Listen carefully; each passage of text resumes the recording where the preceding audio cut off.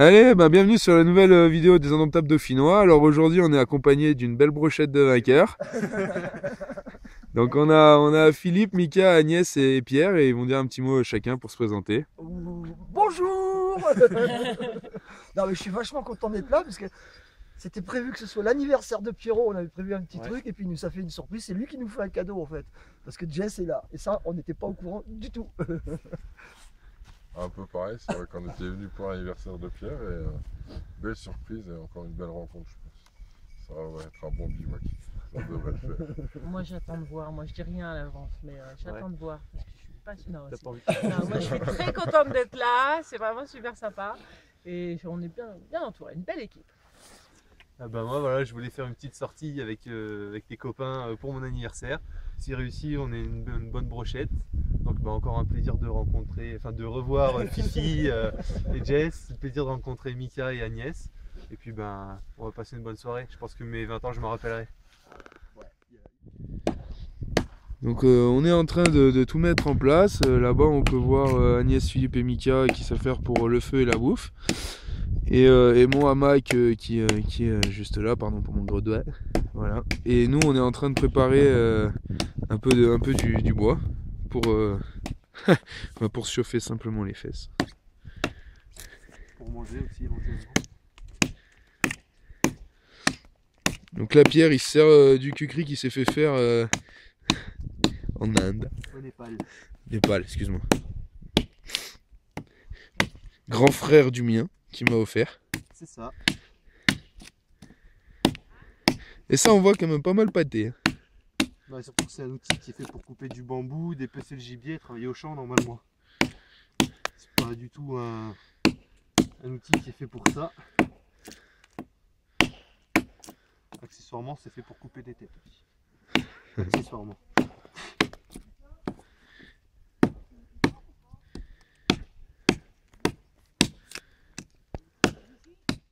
Essayé direct dans l'herbe en fait. Alors euh, quand c'est bien sec ça part mais sinon. Agnès qui est au feu. C'est parti. Ça fait pas des flammes. Boulot. Ouais, boulot. Boulot, boulot, boulot, boulot, boulot. Ça part, ça part, ça part.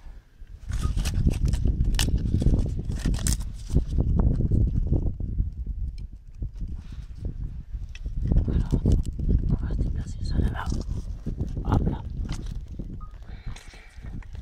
Et c'est parti. Le feu est allumé, les amis.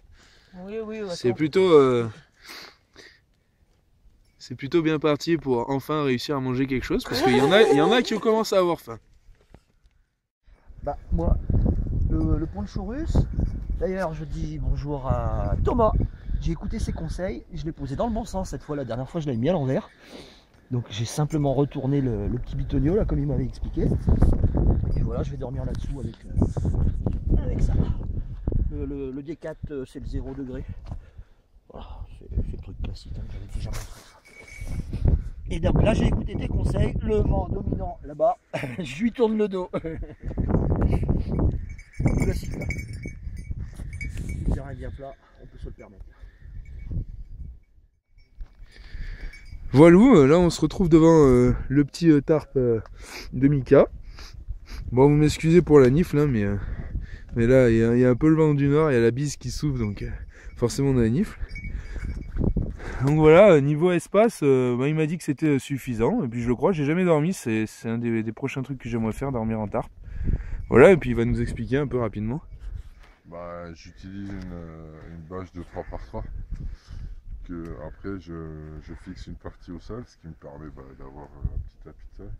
Et après c'est tout bête, euh, je prends le milieu de, la bâche, je la ramène sur le devant, je mets un bâton euh, bah, pour fixer le tout et après avec une petite paracorde pour, pour solidariser tout ça. Quoi. Mais ce qui est bien avec ce système-là, c'est que comme je disais dans ma, dans ma présentation, c'est qu'on peut mettre ses fringues et tout ça. Et c'est vrai que par des temps comme ça, c'est à l'abri, c'est pas trop mal.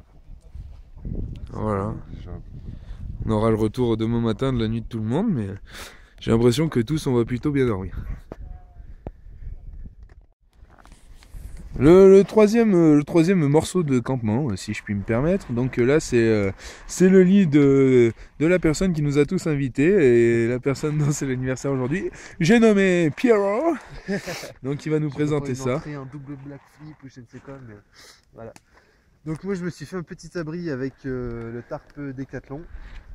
Donc j'ai aménagé euh, deux petites attaches derrière pour pouvoir le tendre correctement. Et puis euh, ben voilà, avec juste un mât. Regarde, tu prends dans le sens de. Comme ça, le tarp. Et que le quechua j'ai fait tenir avec un simple élastique. Maintenant que j'ai les cheveux longs, j'en ai tout le temps plein, donc c'est bien pratique. Et donc euh, voilà, ça me laisse euh, pas mal de place à l'intérieur. Là, Vous pouvez voir par rapport à une couverture de survie, j'ai plein de place sur le côté aussi pour mettre mon sac et tout ça. Et puis si je tombe sur une racine, ça me permet de me décaler.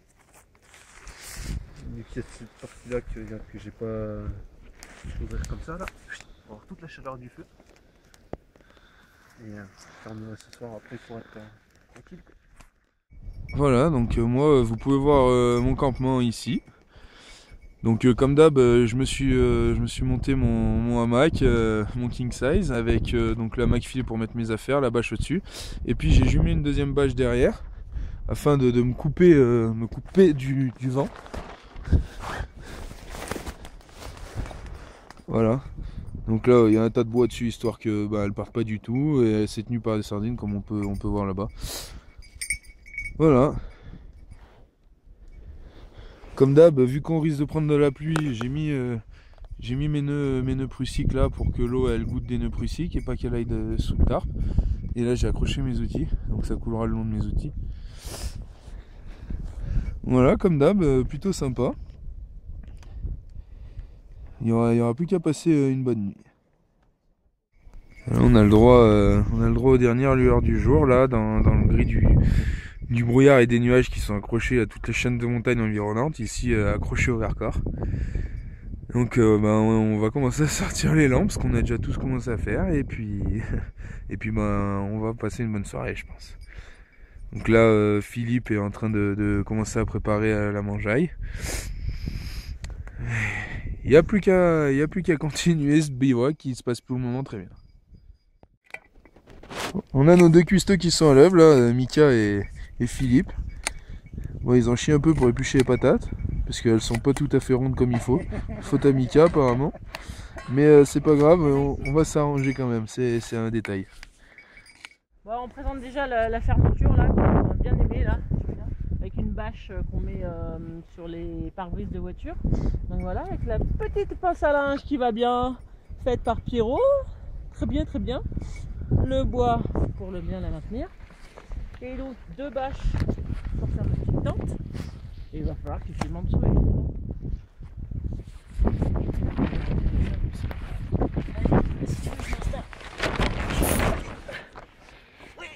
et voilà, et le plumard. Alors on a consolidé aussi, regarde là. Euh, D'ailleurs il s'est barré celui-là. en fait, on, je vais recouper un. On consolide pour éviter que ça, ça tu vois, ça glisse. Là celui-là il tient bien celui-là. Tu comprends le système ou pas? Comme ça, ça, ça risque pas de faire. zoom. Et puis voilà. Ah, il n'y aura plus qu'à mettre le matelas. Euh, Pour regarder euh, la, la conception du lit de, de Agnès, vous pouvez aller sur sa page Facebook parce qu'elle a mis des photos de ce qu'elle a, ce qu'elle a fabriqué. Et si vous avez des questions à lui poser, posez-lui sur, ma Facebook. vidéo aussi. Et puis sur Facebook, ouais. Je- J'expliquerai mieux demain, je pense, quand il fera jour. Donc là, on a Philippe qui est en train de, de faire tout doucement la popote. Il a été aidé tout à l'heure euh, par Mika pour tout couper là. Que ils sont, il est en train de nous faire le vrai chef cuistot, l'ancien. L'ancien.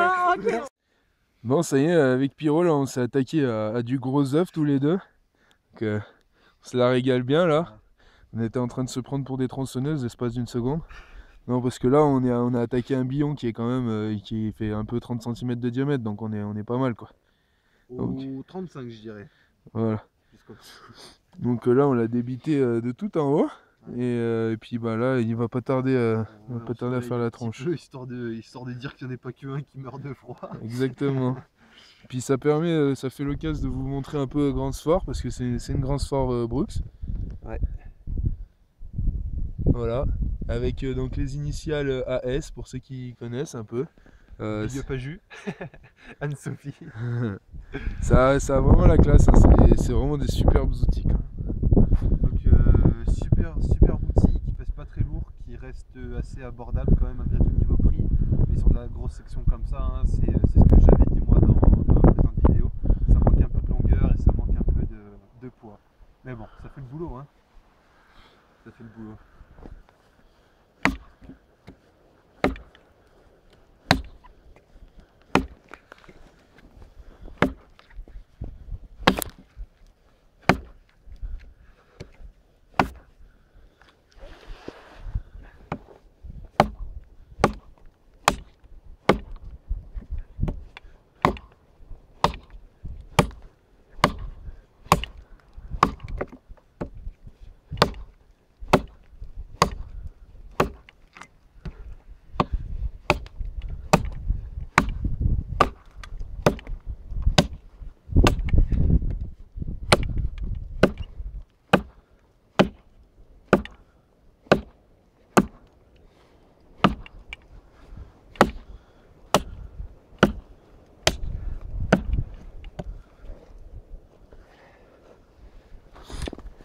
Va y aller, hein.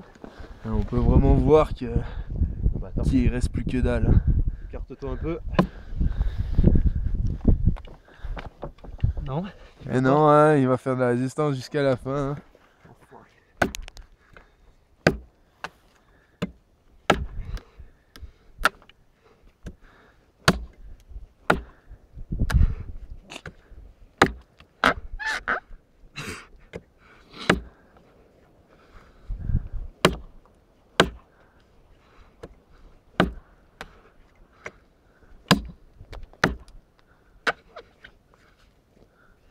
Ça pince, ça pince. C'est qu'on y est presque. Donc Jessie qui va prendre la relève pour attaquer de ce côté-ci. Fera attention à tes pieds. hein. Ça y est, on l'a.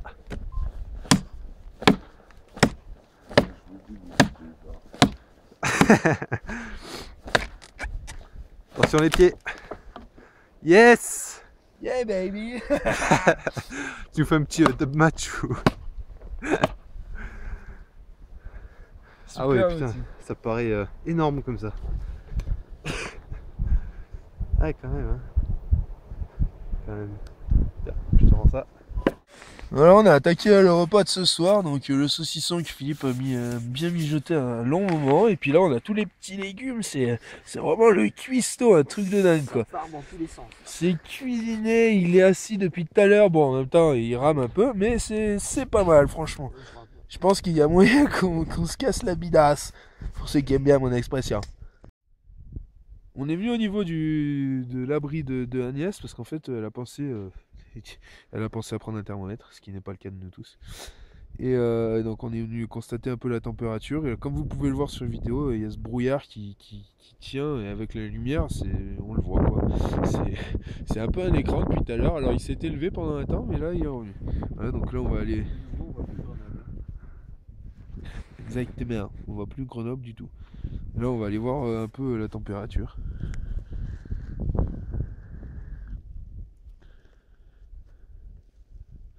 Là, il fait euh, moins 0,2. Voilà, c'est, on peut voir là, moins 0,2. On verra euh, par la suite si ça va descendre plus bas ou pas et si ça se met, euh, si ça se met à perler sur les bâches. Pour le moment, c'est encore pas le cas.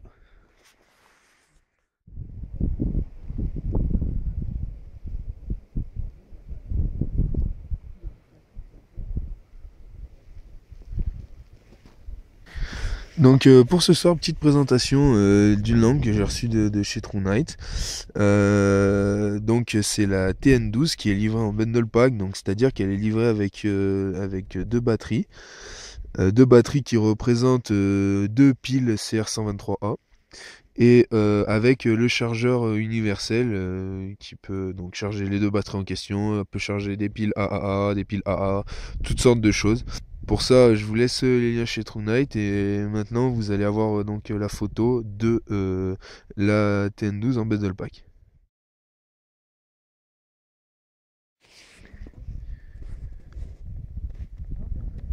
Voici la TN12. Donc vous pouvez voir, c'est une lampe euh, d'un assez gros gabarit. Là, ça, commence vraiment, on tape vraiment dans la, la lampe tactique. Comme d'habitude, hein, euh, l'alu euh, c'est de, l'alu euh, pour l'aéronautique. Donc c'est vraiment quelque chose d'ultra résistant. La lampe, comme d'hab, résiste euh, à l'eau, résiste donc à l'immersion, ces choses-là.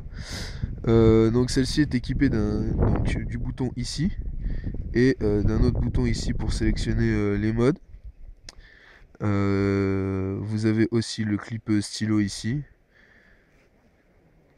Voilà, euh, c'est- vraiment un bel objet, euh, bel usinage en tout cas. Pour, ceux qui connaissent un peu, c'est vraiment... euh, Elle est vraiment de toute beauté la lampe. Donc elle fait euh, 83 grammes sans les, sans les piles ou sans les batteries. Voilà, elle est livrée, livrée dans un petit pack cartonné avec donc la dragonne, la pochette pour la ceinture.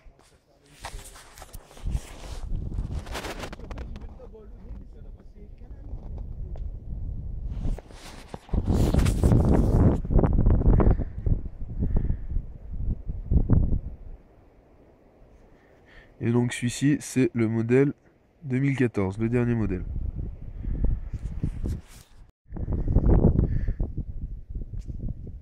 Donc là, on est allumé sur, le premier mode, le premier mode qui fait 0,3 lumens. Donc en fait, euh, on le voit à peine. Là, je suis obligé de me baisser pour qu'on voit le sol. Sinon, euh, sinon euh, dans la pénombre, on le voit pas. Alors nous, en fait, on, voit. La caméra, elle ne capte pas la lumière, donc c'est vraiment très très faible. Après le mode 0,3, on passe au mode 20 lumens qui déjà se, voit tout de suite. Donc on peut voir déjà euh, le faisceau euh, dans la nuit là avec, euh, le brouillard. Et donc pour éclairer là ce coup-ci on voit. On voit le, sol éclairé. Enfin bon là c'est déjà largement suffisant en tant que l'homme de poche. On va passer au mode 280 lumens. Donc là ça éclaire vraiment très bien. C'est vraiment parfait. Comme vous pouvez voir ça fait vraiment le halo de lumière. Et là avec le brouillard c'est euh, assez folklore, c'est joli.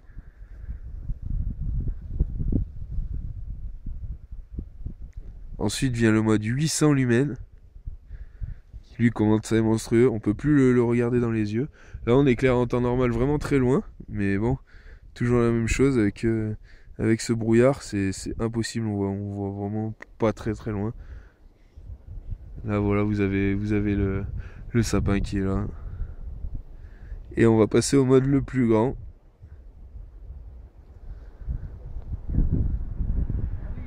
Le mode 1050 lumens. Donc là on voit très peu la différence en fait, mais, euh, c'est improbable d'y voir pour de vrai. Pour finir, la lampe dispose d'un, mode strombinoscope pour, euh, pouvoir éblouir euh, si, besoin par exemple dans le cadre d'une agression. Voilà. Alors là, c'est, vraiment d'une rare violence. On a l'impression d'être en boîte de nuit. Et en fait, pour de vrai, euh, on peut pas vraiment regarder quoi.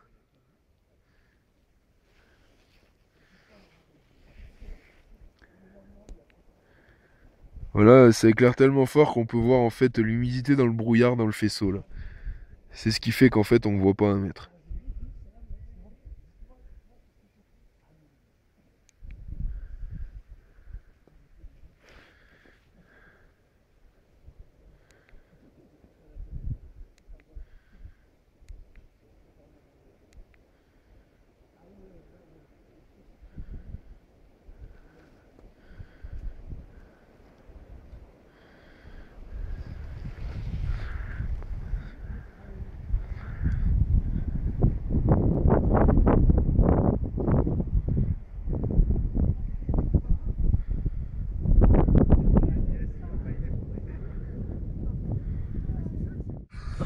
On va pas attaquer, euh, on va pas tarder à attaquer à manger là, mais euh, on a eu une drôle de surprise. Il y a un, il y a un animal qui s'est perché dans l'arbre euh, en fait, pas loin, pas loin du camp, et c'est Indiana, c'est la chienne qui l'a, qui l'a senti. Voilà, elle est encore affolée là. En même temps, il y avait de quoi. Sacré bestiaux. C'est Rémi qui est, qui est monté nous voir, alors, exceptionnel. Salut à tous. Il est arrivé comme ça à l'improviste, excellent, juste pour nous faire un coucou, c'est vraiment, c'est vraiment sympa de sa part. On va attaquer euh, donc euh, euh, la mangeaille. Donc ce soir c'est vraiment c'est le repas de roi encore une fois. Donc ça a mijoté pendant 2-3 heures là, c'est vraiment super. Des petites carottes, des petits brocolis, des patates, des champignons, une sauce dont je vous dirai pas la recette. Si vous la voulez, faudra demander à Philippe. Et, et puis un bon poulet, là franchement ça a l'air super bon. Et bon on va se régaler. Ah oui et puis bon on mange c'est minuit moins 5. Donc on a raté le coche parce que ça devait être minuit quoi. Ah voilà, on souhaite tous un joyeux anniversaire à Pierrot là. C'est lui qui va avoir une grosse grosse vidéo. Nous, on aura juste une petite vidéo qui passe. J'aime bien aussi. Donc là on vient, on vient de finir, on vient de finir de se taper, euh, de se casser la bidasse, hein, mon Pierrot? Ah ouais. On a super bien mangé, Philippe, euh, ce qu'il a fait c'était vraiment très très très bon. Même si il n'a pas réussi à faire tout ce qu'il voulait. Non, j'ai pas réussi à Et voilà, et là maintenant il reste, il reste le petit gâteau et et puis euh, puis euh, puis euh, puis et voilà.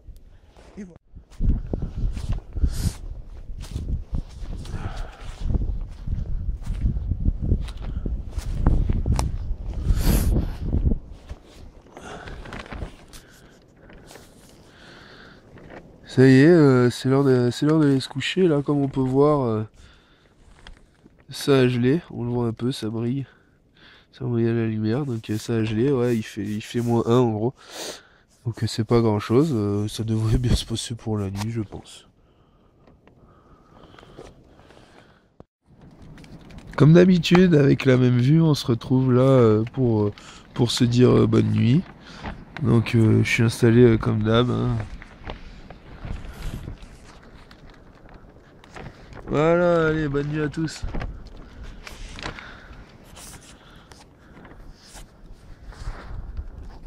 Comme vous pouvez le voir, euh, ça y est, ça a bien gelé. hein.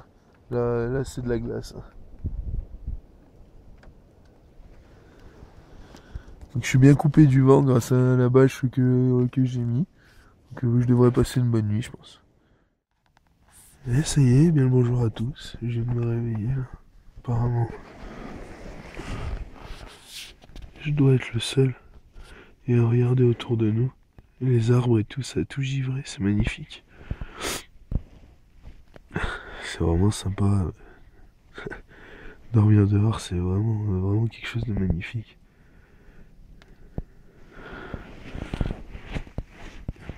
Et là, c'est vraiment impressionnant.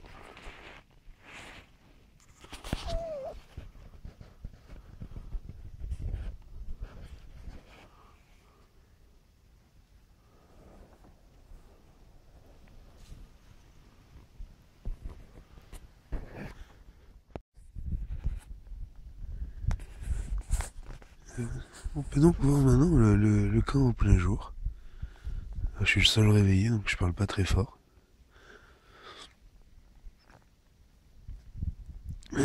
C'est plutôt assez joli.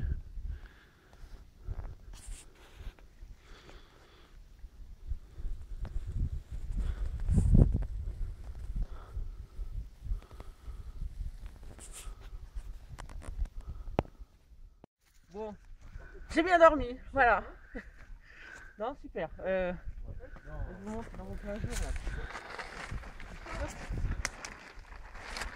Ah. Voilà. Ah, c'était bien, c'était super confortable. J'ai trop trop chaud, très bien. Petit matelas, voilà. Top, c'était long à monter. Voilà, c'est bien. Ouais, comme on peut le voir sur, sur le tarp de Pierrot, là, euh, il y a un, un amoncellement de givre. C'est c'est assez, euh, assez rigolo. C'est assez sympa de, de voir euh, que ça a glissé le long du, du tarp euh, la nuit et l'humidité, elle s'est s'est transformée en givre. Et elle, elle est descendue en bas comme une gouttière.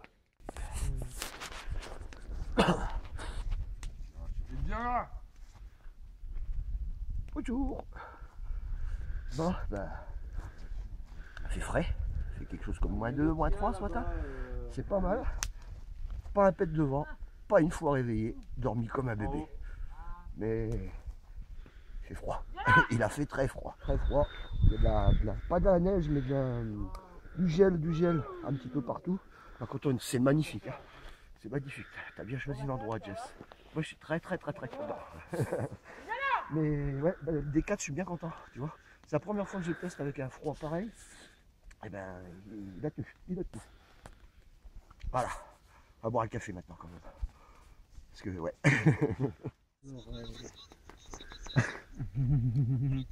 Et voilà, Jus, tu vois, on est tous fans de toi. On regarde tes vidéos de bon matin là.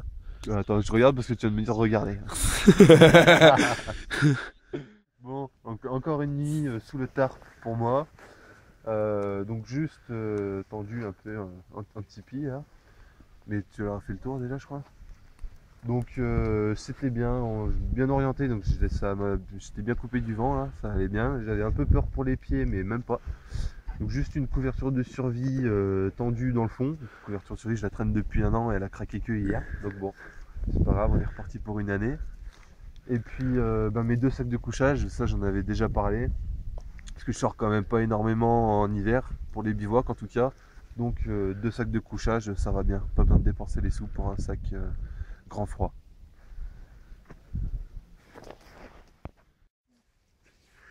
Bon, euh, voilà, donc c'est le matin, là, on se retrouve, donc on est, on est proche du thermomètre. Ce matin, il fait moins 6. En gros, dans la nuit, il a fait jusqu'à moins 3, à peu près moins 2, moins 3. Donc, bon, pas très très froid comparé à ce qu'on a déjà testé. Mais en tout cas, euh, donc, comme vous pouvez voir autour, ça, ça a tout givré. C'est euh, assez rigolo. Et, euh, et tant qu'on verra pas le soleil, pour moment, ça va pas broncher. hein. Ça, fait, ça fait deux bonnes heures que ça va pas bouger. Voilà, donc moi j'ai passé la nuit comme d'habitude alors comme d'hab j'avais trois couches, la, la thermolite, le, le sursac et le, le sac de couchage, avec le, le hamac filé en haut pour tenir mon matériel. Et euh, là ce coup-ci j'ai écouté les conseils des autres donc j'ai mis une deuxième bâche pour couper l'air. Et ça a vraiment bien marché parce que j'étais euh, enfermé euh, là dans mon cocon et vu que j'étais loin du feu j'avais pas de problème, il n'y avait pas de fumée. Donc voilà, retour de la nuit complètement positif, j'ai super bien dormi et, et puis bah là on va commencer à plier le camp tout doucement.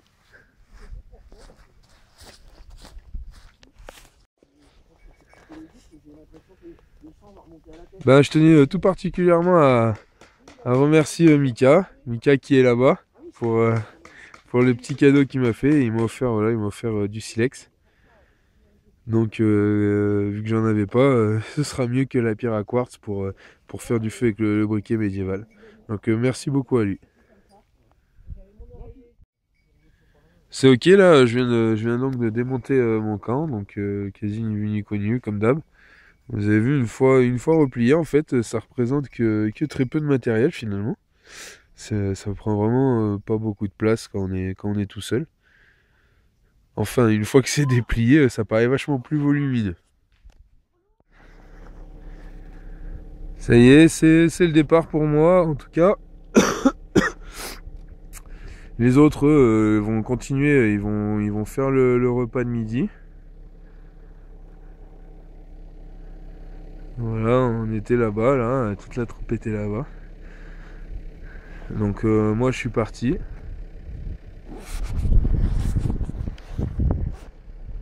Bon voilà, euh, j'espère que j'espère que ce bivouac vous aura plu. Moi, ma rencontre, elle a été super. Je me suis régalé avec tout le monde.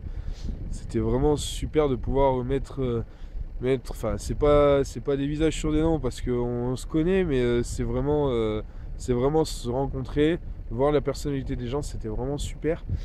Donc euh, merci euh, Philippe, merci Mika, merci Agnès et bon bah Pierrot, je te souhaite encore un super anniversaire. C'était un super bivouac. Merci à vous tous. Et puis bah, j'espère que vous serez éclatés autant que moi. Euh, à tous ceux qui regardent la vidéo et qui ont vu jusque là, en tout cas, merci d'avoir vu la vidéo, de nous suivre depuis, depuis un petit moment maintenant. Et puis bah, de toute manière, on se reverra sûrement bientôt dans d'autres vidéos. Allez, à ciao, bye bye.